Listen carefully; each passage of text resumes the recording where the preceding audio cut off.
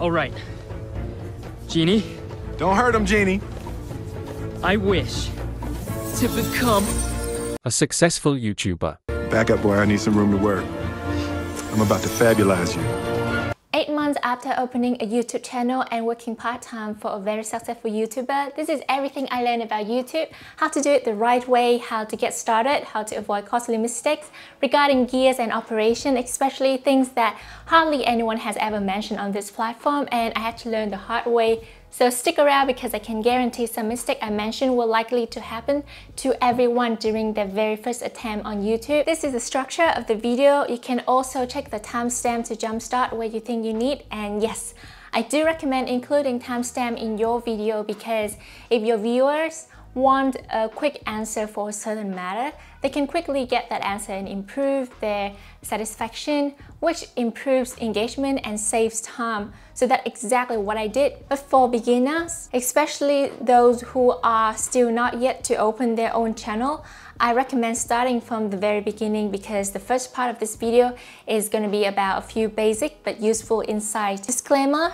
I do not want this video to be just another video you watch to hype yourself up like um, uh, just one more research video then I will get started. No, by the end of this video, you either finished setting up your own YouTube channel, written down a list of 50 video content ideas, or at least start writing a complete YouTube script. So fire up your laptop while watching this. How you want to do it is up to you. Okay, firstly, I want to acknowledge your procrastination of even uploading the very, very first video of yours.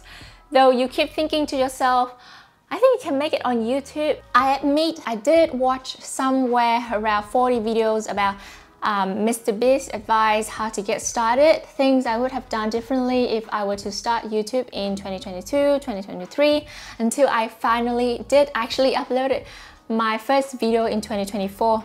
I did, yeah, I, I admit, look at other younger YouTubers who have hundreds of thousands of subscribers and making millions of dollars and thinking to myself, if only I had started earlier or started a YouTube channel during COVID, it would be so much easier because I could have blown up way easier because everyone was at home and had nothing better to do but watching TV. Is it too late now? Answer is no short and simple. I don't recommend you to watch a topic explaining why it's never too late to start a YouTube channel of your own because then that's just another distraction and you will just further your procrastination. So do not go down that road. Moving to the main thing, I'm gonna help you get started by getting to know you, getting some answers from you and let's be real, be honest and be passionate with your answer here, okay? Think of me as your BFF and I'm so really rooting for your success. So first question, do I need to talk about a certain thing like having a niche like people keep talking about? My advice, you don't have to figure it out right away. And we will speak more of this in a second. But it's important to explore what you like doing and like recording is kind of different. Because if you hate doing or hate recording this, you won't be able to do it for a long time. Again, I need to stress that starting is the easy part. The hard part is to stay resilient and consistent to just continue making content that seems like nobody cares about but you. Okay, so my background. I'm Vietnamese. Vietnamese is my mother tongue. I live in Australia and work as an office manager. Previously, I worked in real estate. I started doing like mini skit videos hoping to promote my Facebook page and in return land more clients, but the job wasn't going the way I wanted or hope. I quit the job eventually, but that was where I started um, touching social media and video editing. For the longest time, I avoided social media like a plague. The reason is simple. I'm scared someone I know might see me online and know things about me like where I live, what I do, etc etc. Anyway, for a long time I wanted to try my hand on YouTube but as someone who was online bullied during my secondary and high school, I had the biggest fear that if and when someone who knew me saw me on YouTube, that would be mm, the end of me. Damn, am I oversharing again? Is it getting too personal? You might come across this self-doubt when sharing your life stories as part of your content. In my opinion, be true to yourself and if that story helps um, emphasize a point or is it a necessary mark to your story, then tell away. Back to track, I never got over that fear till I watched enough YouTube video from other creators stressing that nobody cares. But the one thing that moved me past that fear line was somebody who explained that YouTube, unlike other platforms, only pushes your content to those who are indeed interested in that kind of content. So don't worry about what others think, worry about what kind of content you want to put out there. Secondly, if you set your goal is to become a proper content creator, you would want to have more subscribers than the amount of your acquaintances and definitely the amount of people who hate you except if you are guys like this guy. So if you don't push through those small numbers and get started, how are you going to achieve your goal? So after months of self-sabotage, 8 months ago I uploaded my very first YouTube video. Do I wish to make money off it one day? Sure, why not? But mainly because I like to create. My school years, I spend most of it doing plays and writing story. How cool is it to make something like that online, build a community full of people who enjoy watching it and be proud myself. Some people advise that you need to find out your why, why you want to be on YouTube, mm, to make sure that you stay on track. Don't do it for the money because if money is what you're after, you won't be able to commit to this for a long time. Mainly because you're not going to make any money when you first started anyway. So on and so forth. But I think it's important to be aware that on average, it takes you two to five years to finally see if this is gonna pay off or not. I've seen all the normal successful YouTubers take at least four to seven years to get to where they are now because not everyone is at Mr. Beast level. So if you are desperate to make money on YouTube and don't see any coming for two years, you're gonna give up at one point. Okay, next question. Who's gonna be my audience? Okay, so I live in Australia. I can speak English, but I'm not confident being able to produce English content weekly. I'm not confident to speak English for 20 minutes straight like I could on the spot in my mother tongue. Do you even know how smart I am in Spanish? So all considered, I decided to test the water with a Vietnamese channel. It did occur to me that ge geographically speaking, this might have some hindrance as I might not be able to catch on fast enough with the current news or trends in Vietnam and if I do want to show certain things products might not be the same or even available in both countries. Some references might not be on point, etc, etc. So after trying it out for a few months, I pivoted to English speaking content, which I have been doing. And I will explain the pros and cons in a bit, so bear with me. Now let's build your target audience. Are you making content for kids? If not, who are they? Are they male, female, um, in their 20 30s or just anyone in your country alone or anyone who speak English, Spanish, Chinese, is your content going to be for those who just want a quick, easy entertainment or something else uh, it's really important to find out what you are good at. Creating content that deals with a subject that you are knowledgeable of and also interested in will not only make your content authentic, but will also make the life so much easier. And this is the most common, easy approach that I've seen out there for people who are just starting out. Next question, what content to make in your specific case? The way I see it, and it also makes sense in many cases, including myself, is that we all start with what we have, what we see and what we do daily first. So say you are starting without having a specific profession or business, like say you are not an interior designer, you are not an artist, to start recording what you do daily, people can always start with what is right in front of them or what interests them at the moment. That is why many people, including myself, started with what I do or eat in a day, in a week, my skincare routine, some before and after, motivational stories, interesting stories, etc. like um, life lessons, what we have learned because we have experienced it. Things like um, XXX lesson, I wish I knew sooner before I do ABC things, what I wish my teens had known, home improvement, home tour, DIY, any kind of content to share life advice on any aspect, like weight loss, beauty, fashion, travel, work content, so on and so forth. My advice here is if you want to pass that 4K hours watch time which has been reduced, which I will talk about later, you need to make video that add some sort of value to others, to majority of people, like a how-to, a tip and trick video. It makes sense that for majority of content creators, the video that help them gain the most followers and views are the ones about framework, tactics, strategies, the how-tos, because they offer information and people come for advice and actually stay to the end of that video. And if your information is actual goal, they will subscribe to your channel because they want to learn more. In my case, why I was trying things out to see what stick, all the how-to video are actually the one that blew up and are the one that helped me gain thousands of subs and helped me monetize in two months. I can see the benefits of having a niche. It's not just about personal branding, it also helps you grow very fast because you establish yourself as a trusted advisor that people can always come back for more. For example, if you are in the field of fitness, review, commentary, beauty, and even in beauty, there's so many sub niche. Are you gonna dig deeper in hair, skin, or what? So having a niche will also make your workflow a bit easier because you will focus on what you are good at or interested in. And as you are good at something and curious and passionate about something, you can see yourself doing it consistently for a long time. Imagine you love interior design and whether you are an interior designer or an inspired one, your day would be wake up, write script, finish the script, do a roll where you talk to the camera directly like what I'm doing right now and b-roll if any where you shoot other objects. Edit your video upload your video move on to the next video where you already know what topic you're gonna do um, or research more about. And confident doing the research and the writing because you have narrowed down what you like to produce.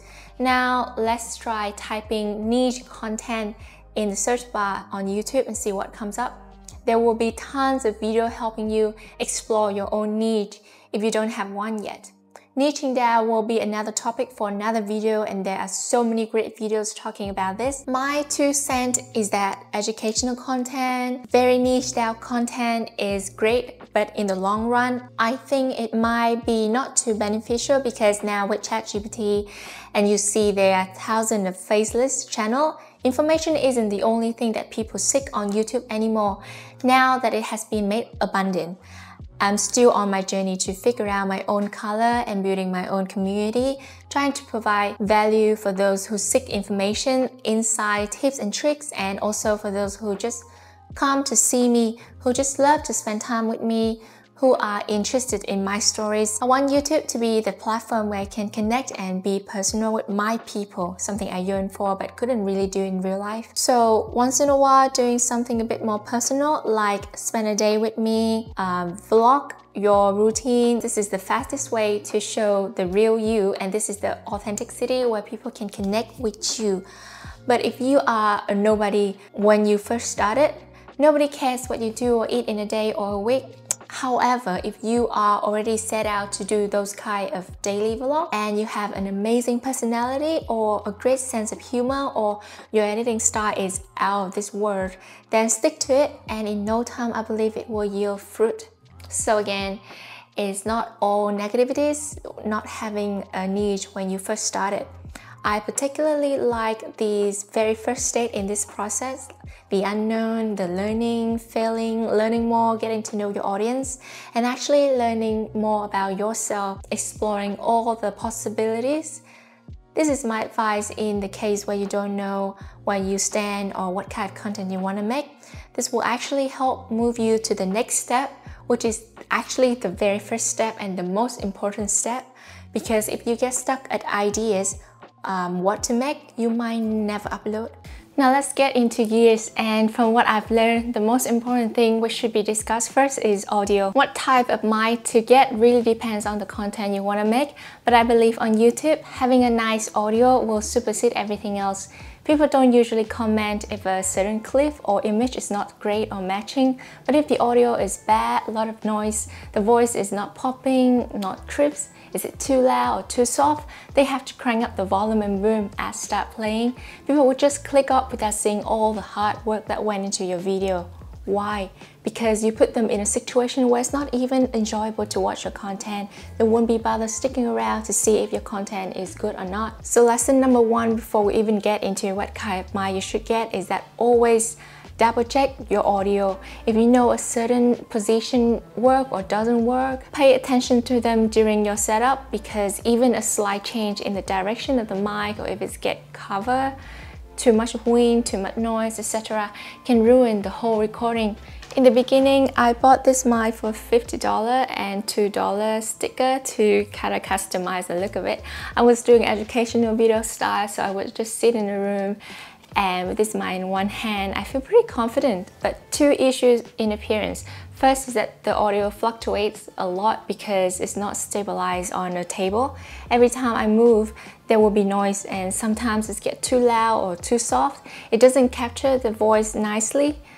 Pretty muffled. Overall, it looks nice, but it doesn't produce good quality audio. Second thing, and the audience pointed this out, is that seeing me with a mic like that makes them feel distant with whatever point I'm trying to deliver, like there was some kind of invisible wall between us. And as a viewer, they want that connection when watching my video. But if you want to do interview or educational style video, you can just purchase a mic like similar like this and a mic stand and have it record stable audio where you sit. That led to my final audio set um, the Rode Wireless GO II mic. I like it ever since. I did a lot of research before the purchase and I can confirm that it's worth it. Um, I remember every time I consider buying something, I actually spend a lot of time doing the research because I need to make sure it will be worth the investment right now. Everything that being bought right now need to help increase the video quality in any aspect significantly. So yes, I bought a set of two instead of just one in case in the future I want to do multiple people talking, like in an interview um, setting. It's just easier that way when I think about long-term use. How do I use it? Here is my camera. I plug the receiver here on top of the camera and plug in the red wire into this audio. When I press record, the audio received from Rode mic will be back into the video so I don't have to sync them later in editing. In the beginning, there was countless time I forgot to either turn on the transmitter or plug in the wire or forgot to charge them the day before. I went on speaking for hours just to find out it wasn't on. So as soon as you got one, put in practice so you won't make the same mistakes.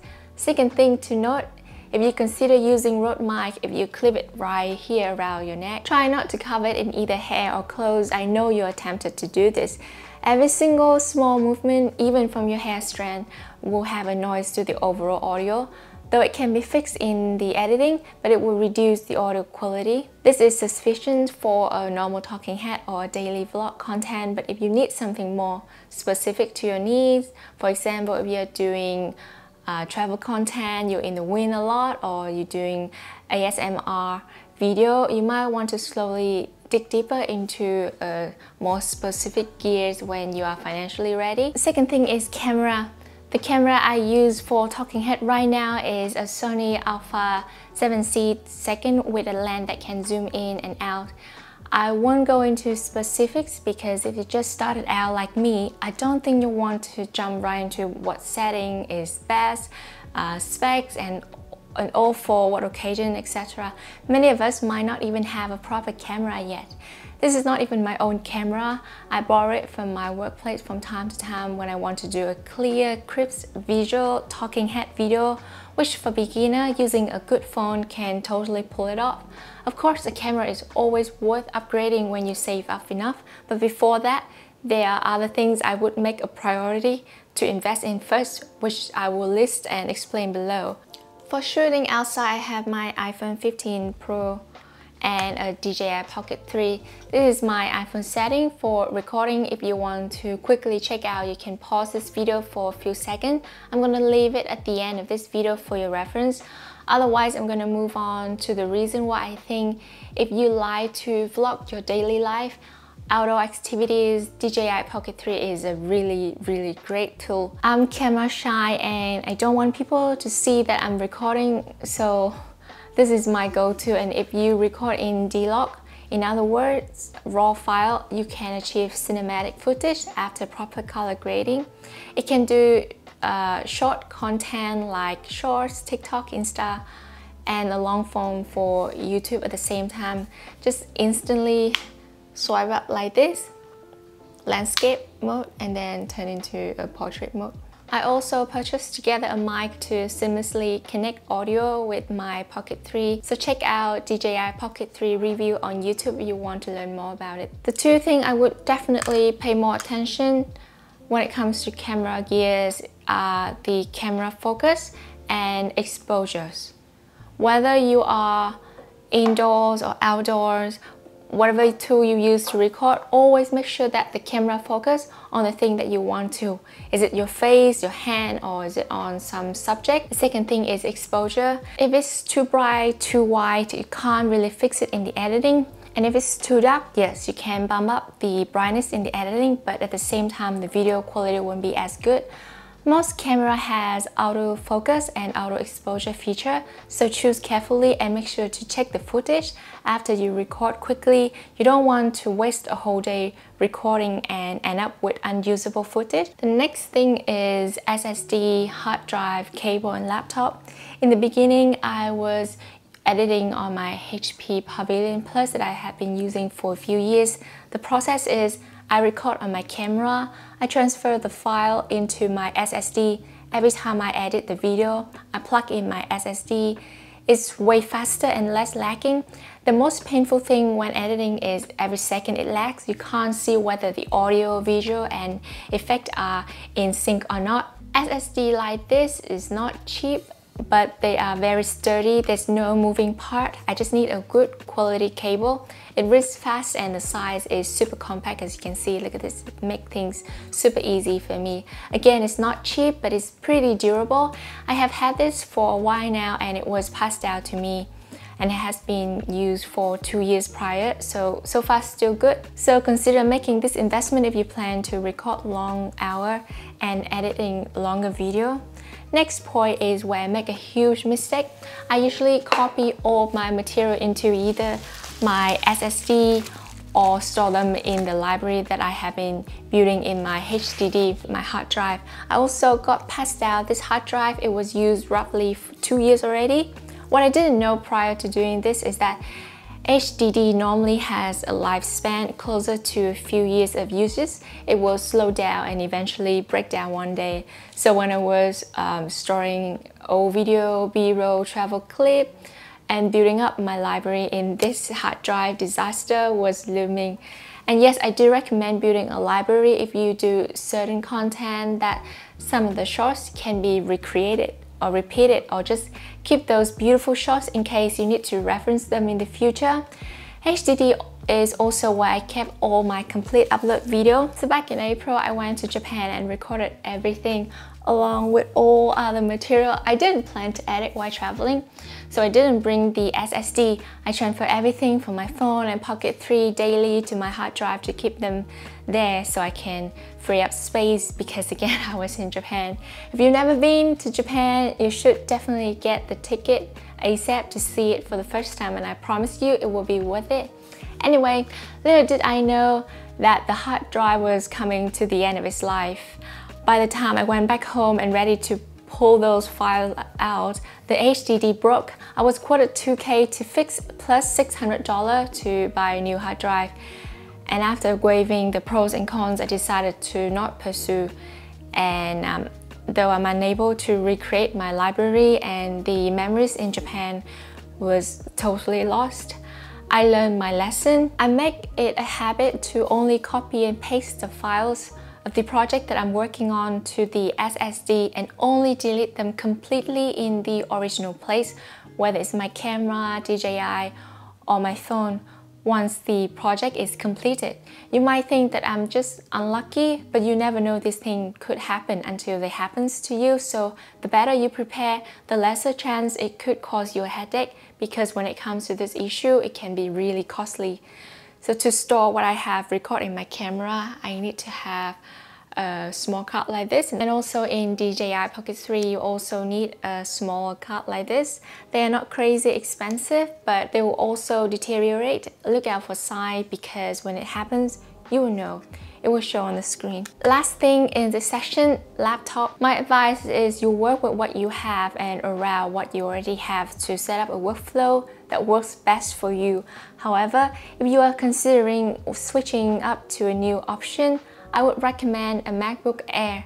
If you already use an iPhone, even more reasons to look into this more seriously. The reason being, it doesn't heat up, everything just syncs easily. Say I have a video on my phone, I can just airdrop it to my MacBook or just open it from the app right in here and have them sync on the cloud. Same goes for audio, voice recording, copy and paste text between devices, I would say this is the biggest selling point because prior to this, I had to come up with different ways to, if I have image, video, audio in my phone to transfer to my laptop, whether it's Google Drive, email, they were all very time consuming. I use CapCut to edit my video from simple talking head to more complicated concept.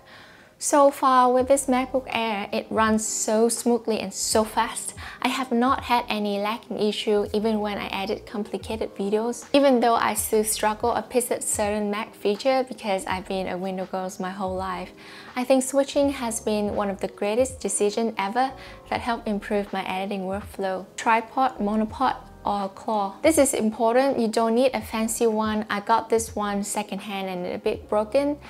That's why after I upgraded, I left this old tripod to be used with my teleprompter. The reason I think you need a tripod First is provide a stable and steady platform for your camera, reducing camera shake and vibration. I try shooting and taking photo without a tripod. It can last only a few attempts, then it gets really heavy and things start shaking and the footage becomes jittery. And the second is that you can precisely control and maintain the camera's framing, angle, and composition throughout the whole recording. This allows you to capture the scene consistently without frame drifting or shifting. You can also use it for panning and tilting. For tripod especially, often include the features like a fluid head that enables smooth panning and tilting movements.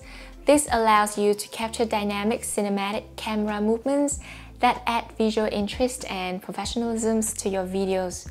I rarely use this function, but you never know when you might need it, which is time-lapse and stop motion.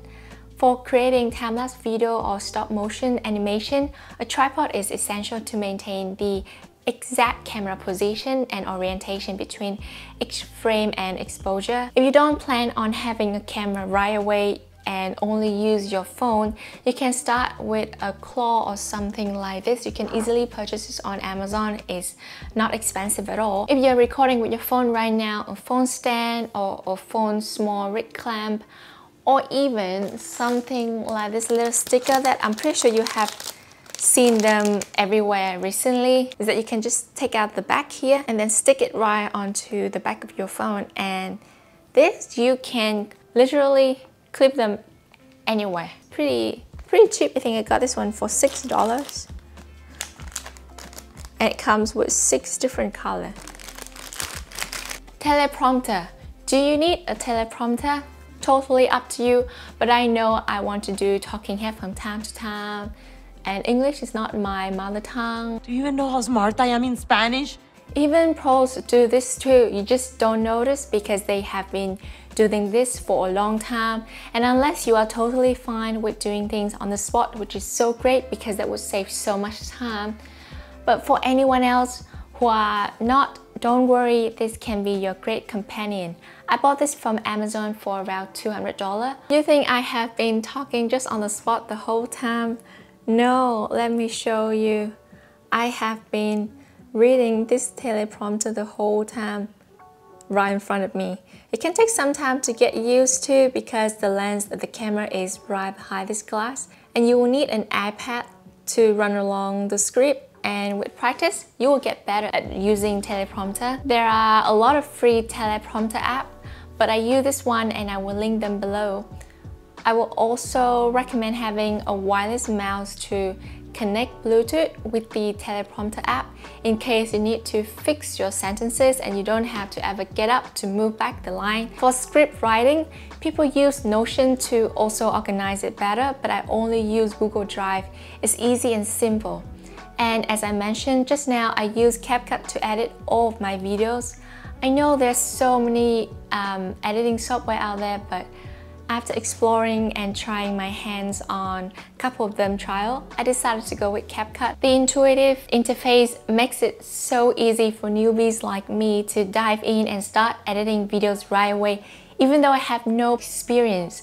I watched a few tutorials and I see myself editing video already starting with just talking head videos and move on to more complicated concept. I've seen pros using CapCut to produce high quality, amazing content like a proper movie and it wows me every single time. As time goes by and I make more and more videos, I learn more about CapCut. It turns out that despite its simplicity, CapCut offers so many editing tools and its built-in effect make it super easy to produce end result like any other professional tools like Adobe. I really vouch for its user-friendly features. Some might think it's just for editing TikTok videos, but with the web version and PC version, you can achieve so much more. In the beginning, most of the features were free, but as of now, most of the good stuff no longer are free. As part of my office job and this side gig, I see more pros using the Pro version and it was around $140 per year last I purchased and so far I think it is worth the investment. Many advice out there is that you should hire an editor to edit your videos. I think at one point where you actually can see that it is making money and can be a career rather than just a hobby. You are financially, spiritually ready, then this is for sure the next logical step to take. But for now, you have to get on this editing thing by yourself. It's actually really exciting to see your ability and creativity putting together a show, a product to show up to the world. Though I have to stress, Many times you think this video is going to be a banger, it might not be the case. It takes time for the algorithm to find your own audience who might be interested in what you have to say. But if your content is the same as millions of people out there and your editing is just meh, not to mention the biggest thing you might have already messed up is your thumbnail and title, then it might take longer for it to find your audience and slowly gathering enough data to keep pushing your content to that community. So lessons is do not get discouraged, keep doing what you're doing, but with improvement. Never stay just the same or just doing the bare minimum. Anyway, if you're interested in a CapCut editing tutorial, leave a comment down below because I promise you, even with just one quick tutorial, you will be quick on your feet to start editing your first video already. I wanted to do a full course of everything I've learned about YouTube in this video, but it's time to get back to my office work. I also reckon I stop here and let you soak in the information I just shared and maybe you can start writing down ideas you can do for your next or first video while preparing the things that you might actually need immediately to start the process. For example, a phone stand, go download CapCut desktop version. I'll link everything down below. One tip is that the length of the video is really up to you, so don't worry too much about it. There is no one size fits all. Some love doing really long video like one to two hours. Some like cinematic videos, which takes a really long time to even set up a scene, so the video is usually between one to two or three minutes. But many times you will see majority of video out there is around 8 to 30 minutes. But later, once you start monetization, having an 8 minute or longer video will actually help increase your AdSense money. If you want to know why and other tips and tricks, mistake why setting up a YouTube channel, video settings when uploading a video, intro and outro, AdSense account, ad sustainability, upload frequency, some tips and tricks to help you get past the threshold to start monetization ASAP. Solution, if you get stuck at ideas, music, etc, etc, check out the second part of this video right here. I'm gonna go for real now, but I will check in with you to see your progress in a week. And please, please, please, by then at least you have started writing a script for an idea or any idea like anything at all. Sometimes up can make you grow, can make you grow,